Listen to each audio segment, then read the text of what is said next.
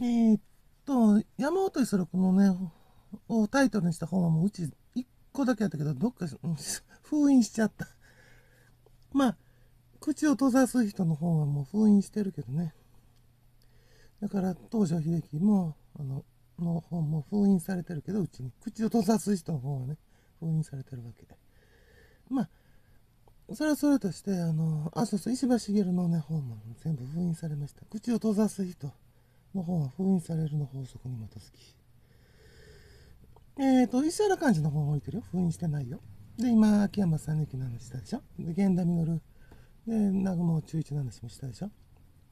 で、実はね、そのフリーメイソンに登録された発明が、まあ、秋山、源田、南雲にはあったわけで、でそれを山本五十六はすごく嫉妬しとったわけ。で、まあ、かっこつけやから、嫉妬の鬼っていうのは絶対バレないように形跡を残すわけ。それは山本太郎もそう。東条英機もそう。大和民族はみんなそういうふうな生き方の人たち。で、本当は嫉妬の塊。